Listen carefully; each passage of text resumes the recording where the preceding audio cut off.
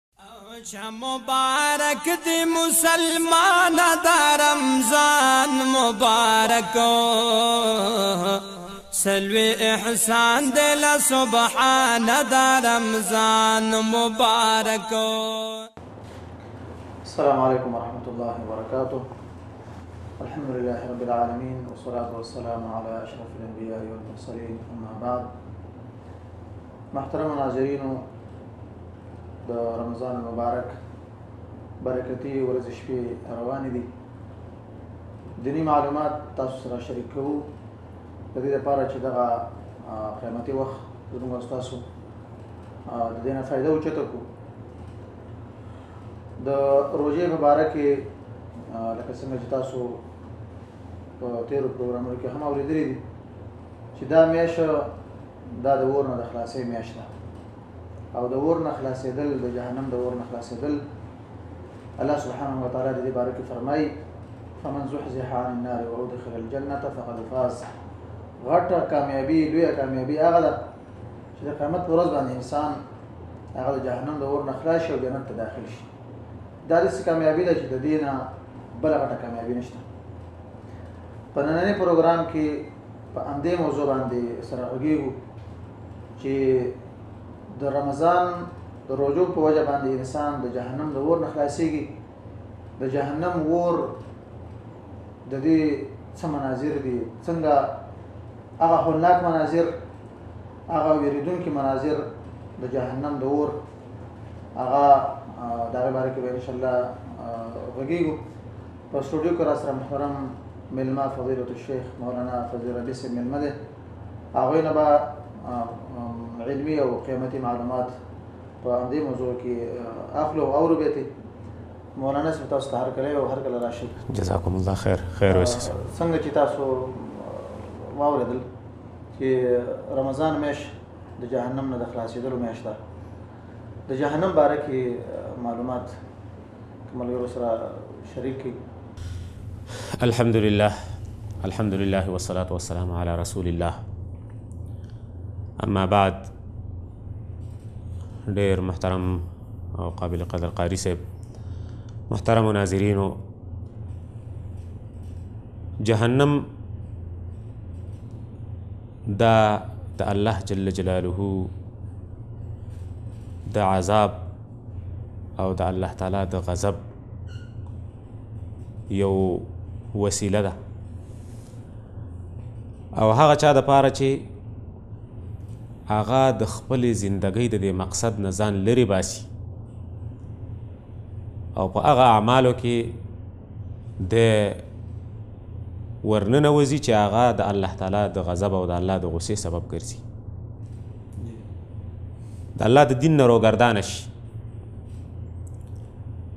مجرم شي نافرمانه شي د الله تعالی د امر پرمنبرداری نه کوي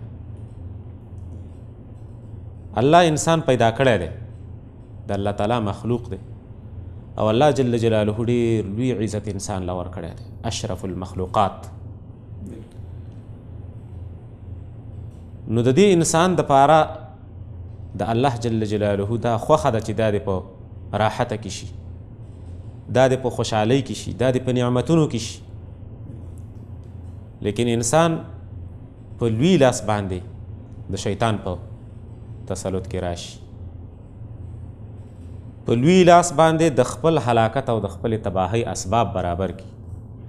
د خپل هغه رب چې دی پیدا کړی دی هغه رب چې په د باندې احسانات کړي دي هغه رب چې د د د پاره د دنیا ټول نعمتونه د د لپاره پیدا کړي دي د هغه رب د خبرې په مقابل کې ودرېږي نو دی په لوی لاس او په خپله د خپل ځان د پاره د عذاب اسباب برابروي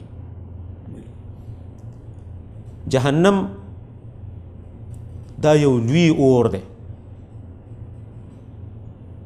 د قیامت په ورځ باندې چې کله د انسانانو په منځ کې حساب وشي صالحین جنت ته ځي او کم چې نافرمانه دي هغه جهنم ته ځي په جهنم کې الله تعالی قسمه قسم عذابونه دا د دې مجرمانو د پاره د نافرمانه خلکو د پاره تیار کړي د جهنم نه نجات د الله تعالی په فضل باندې کیږي جنت ته ننوتل د الله تعالی په فضل او د الله تعالی په کرم باندې کیږي کله چې انسان ته الله تعالی توفیق ورکړي چې د جهنم نه خلاص شي او د جنت والا جوړ شي نو دا ډیره لویه کامیابي ده الله تعالی دې زمونږ او ستاسو او د ټولو ناظرینو او د ټولو مسلمانانو په نصیب کړي جهنم دا داسې یو اور دی چې د دې عادي اور په رقم باندې دا دی نه نبی علیه الصلاۃ والسلام فرمای چې د جهنم اور دا د دې اور نه چې په دې دنیا کې د جهنم اور د دې اور نه چې په دې دنیا کې تاسو یې نه او یا چنده ګرم دی د دې اور طاقت منګه او تاسو نه لرو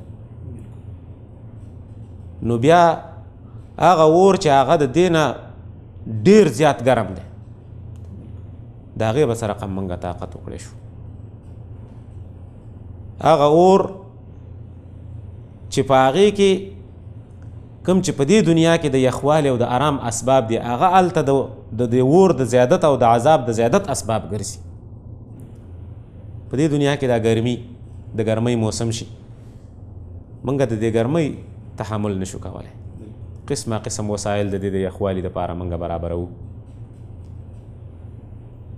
سوري تکینو الله تعالی په دې دنیا کې سورې زمنګ د پاره یو نعمت را لېګلې کله کله هوا را واولوزي سیلۍ را واولوزي ګرمي په هغې باندې کمه شي یخې اوبه د الله تعالی لوی نعمت دی په دې دنیا کې د هغې په څکلو باندې دا ګرمي د انسان کمه شي تنده پې ماته شي خو په جهنم کې الله جل جلاله د دې نافرمانو دپاره دغه د راحت اسباب هم د عذاب په اسباب باندې بدل کړی دي د هغه هوا چې ده هغه سموم دی سوزون کې هوا ده ګرمه هوا چې د هغې په وجه باندې نور هم ګرمي د جهنم زیاتېږي د هغې سوری وظل من یحموم هغه د آرام والا سوری نه دی د هغې اوبه وسقو ماء حمیما فقطع امعاءه داسې اوبه چې هغه ډېرې نهایت ګرمې اوبه چې د هغې په څکلو باندې د هغې کلمې یسهر به ما فی بطونهم والجلود پوستکي د هغې په وجه باندې چې مخامخ یې کې مخ ته د مخ پوستکی به په د دې اوبو د ګرموالي د وجې نه راولوېږي او هغه څه چې په کلمو کې او په دې خېټه کې دننه دي هغه ټول ویلي کېږي د دې اوبو د څکلو په وجه باندې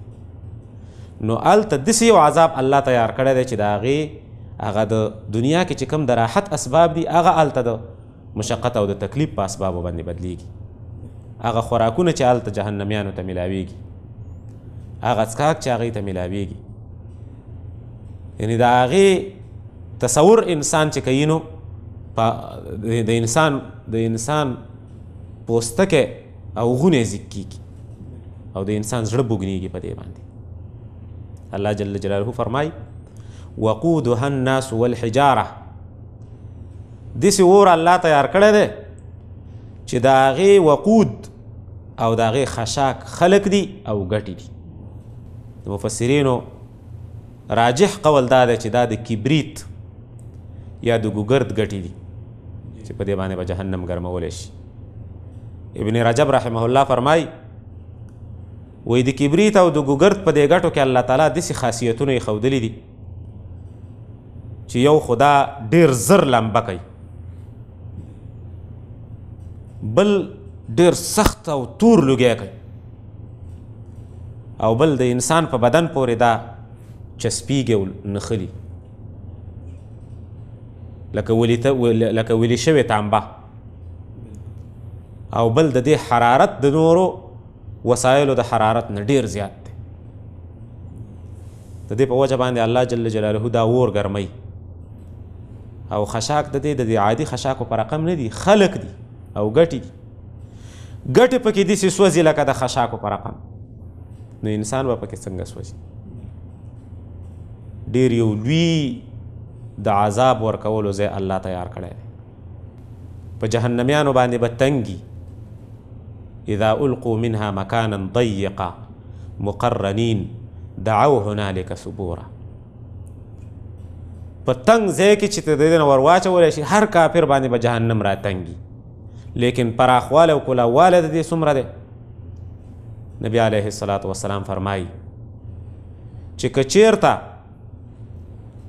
د نه اوخو په اندازه باندې د نه اوخانو په اندازه باندې یو غټه په جهنم کې واچول شي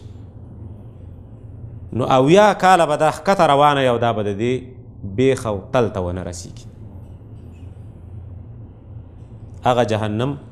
چې قسمه قسم عذابونه الله تعالی په هغه کې تیار کړی دی د انسان لپاره هغه چې دی ورته د مخامخ کېدو په وجه باندې د انسان د بدن غوخه دوړیږي او اسې اړو کې پاتې کیږي هغه اغلال او سلاسل هغه زنجیرونه چې د دې عصات او د نافرمانو د عذاب د پاره الله پاغه کې تیار کړی دي چې د یو ادنا جهنمی حالت رسول الله صلی الله علیه وسلم د عذاب بیانوي چې د ټولو نه د کم عذاب والا په جهنم کې هغه کس چې د ده په قدمونو باندې سکروټې کې ښودلی شي او د ده دماغ د هغې د وجې نه وخوټ کېږي دا د ټولو نه کم عذاب دی لیکن په یو روایت کې بیا د کعب الاحبار روایت ده چې فرمایي چې په جهنم کې الله جل جلاله د سی یو کوی تیار کړی دی د سی یو کوی جوړ کړی دی چې هغه د جهنم د خلقت او د پیدا وخت نه رستو هغه د سره کولاو شوی نه دی او د جهنم اور د هغې نه د الله جل جلاله نه پناه غواړي دا نور ور د دغه کوی درا کولاویدلو نه پناه غواړي چې چرته دسه عذاب نه چې منګه داغه د وجه نه په تکلیف نشو او دغه الدرک الاسفل من النار دی ان المنافقین فی الدرک الاسفل من النار یقینا منافقان د جهنم په د ټولو نه هغه هغه ښکته ترینه او د ټولو نه په هغه بدترینه طبقه د اور کې بدی پراته دا د ټولو نه سخته درجه ده د جهنم د ټولو نه سخته هغه سخت ځای دی د جهنم او د دې نه وروسته بیا نور دغسې ځایونه د عذاب دپاره الله جل جلاله تیار کړي دي د انسانانو هغه انسانان چې هغه د الله تعالی د دین نه روګردانه دي الله جل جلاله دې موږ ټولو ته د دې سخت عذاب نه د نجات وسایل برابر کړي تاسو څنګه وفرمایل چې د جهنم د کلاواله هغه غټواله د سره ماته حدیث را پیدا شو نبی رسول الله صلی الله فرمایي چې یو جهنمی د دې جهنمونو د شکلونه بل تعالی وران کی د یو جهنمی دا جسم به دومره الله تعالی غټ کی چې هغه کمزې کې کینې دا د ناس ته دی او دومره دومره زیب هغه لاندې کوي لکه د مکې نه د مدینې پورې دا د دې لپاره چې د عذاب دا سختی دی او ته ډیره بالکل اسی سره سوچ وکړي چې دا به سره کوم شکل دی بیا یو یو غاخ د جهنمی دا به د وحود د غرم مرغاخ نو چې یو غاخ د سړي دومره شي به باقي غاخ نو خپل به څومره یو عجیب او یو یو حوالناک منظر بالکل یو دسه چې د هغې د تصور په وجه باندې د انسان زړه رپیږي الله جل جلاله دې ټولو مسلمانانو ته د دې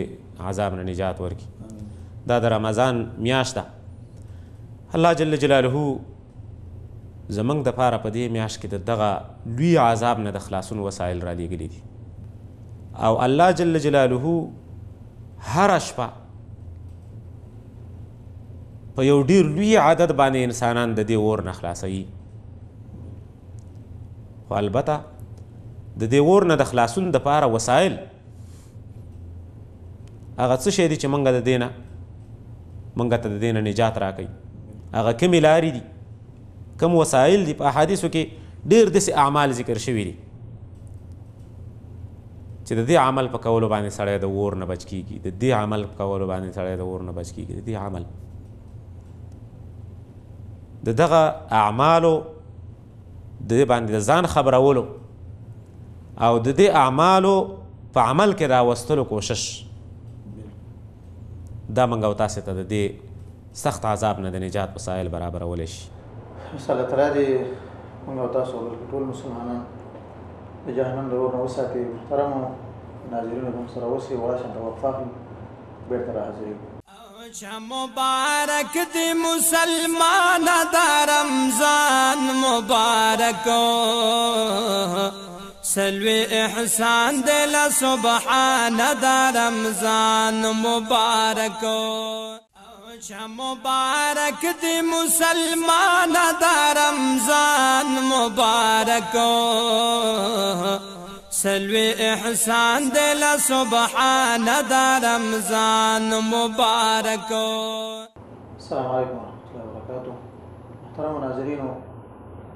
د جهنم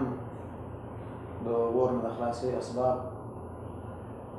هغه عظیم ور او هغه عظیم عذاب چې الله تعالی به خپل هغه خلق له ورکی هغه مخلوق له هغه انسانانو له چې هغه د الله تعالی نه فرمانی کړی الله تعالی په هغه باندې غوسه شوی په کار ده چې دغه شرمناک او د سخت عذاب نه موږ ځان وساتو ځان ته بچو کوم اسباب دي چې مونږ کولای شو چې د هغې په اختیارولو سره د دغه عظیم اور نه او د دغه هنناک او دردناک عذاب نه مونږ ځان بچ کو محترم شیخ صاحب هغه اسباب چې کولای شو هغې سره مونږ د جهنم د اور نه ځان وساتو که مختصر ډول باندې یو څو بیان کړي دا اصلا د جهنم د اور نه د نجات اسباب رسول کریم صلی الله علیه وسلم د ډیرو اعمالو په باره کې د دې ذکر کړی دی چې دا د جهنم د اور نه د خلاصون سببونه دي په دې کې د ټولو نه اهم عمل هغه اخلاص دی چې په هر کار کې انسان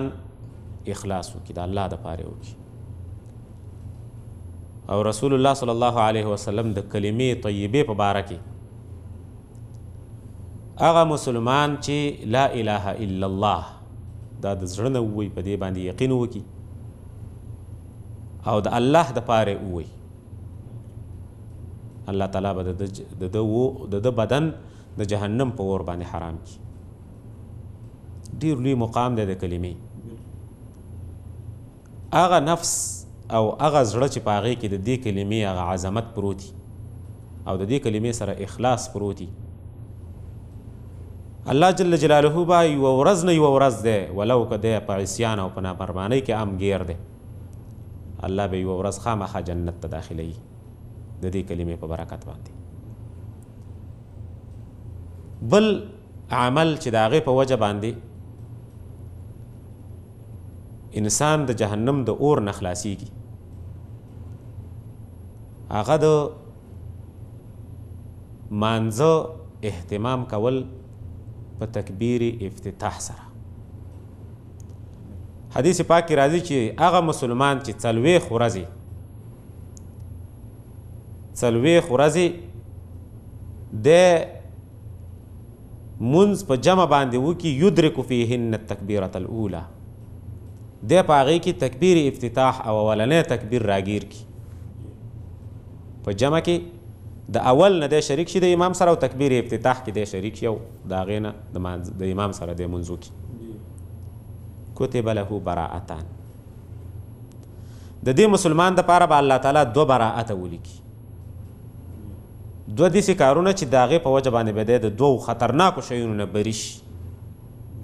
یو براءة من النفاق و براءة من النار د منافقت نه براءت او د جهنم د اور نه براءت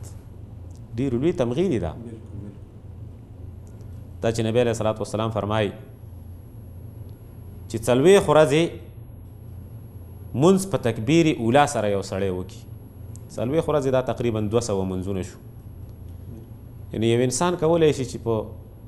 یو همت باندې په څلوېښت ورځې دا مونځ دومره ګرانه خبره نه ده په اول وخت کې سړی راشي جماعت ته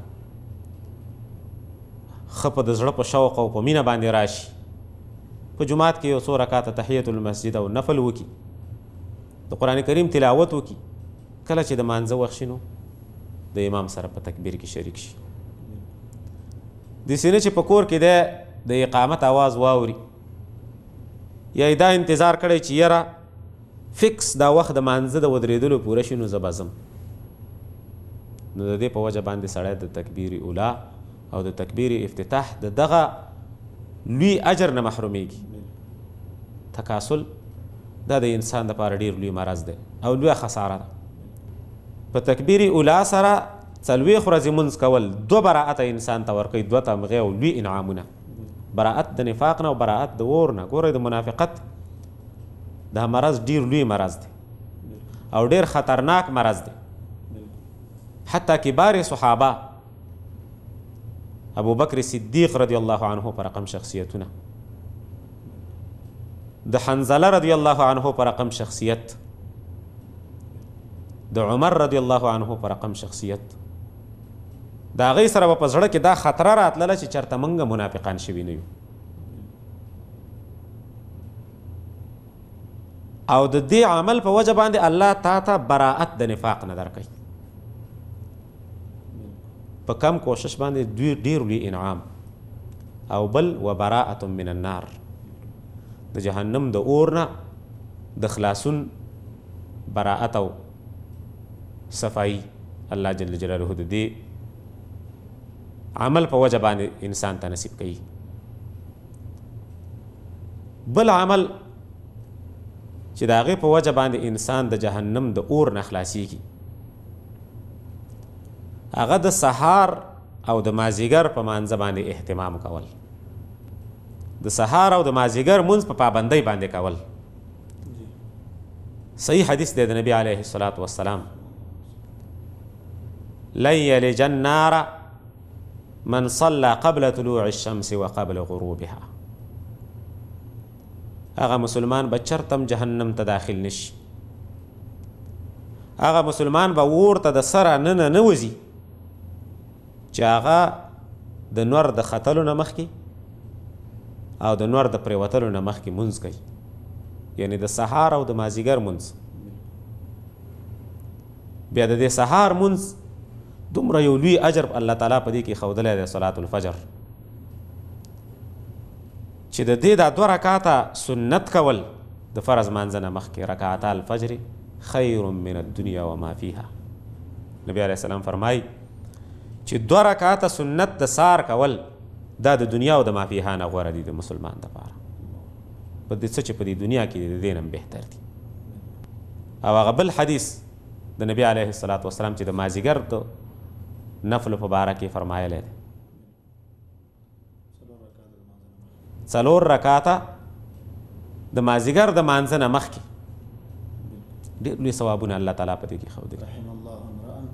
صلی قبل العصر اربعا په هغه انسان باندې د الله تعالی رحم وکړي چې هغه د مازیګر د مانځه نه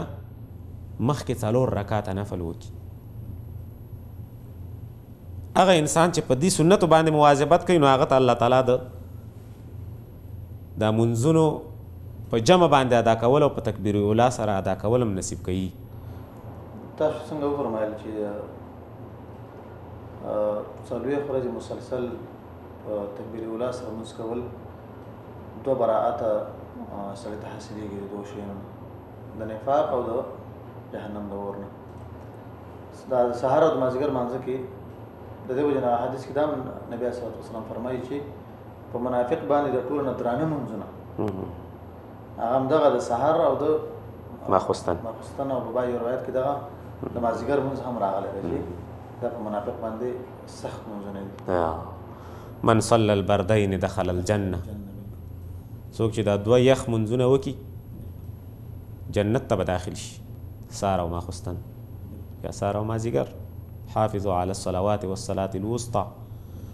وقوموا لله قانتين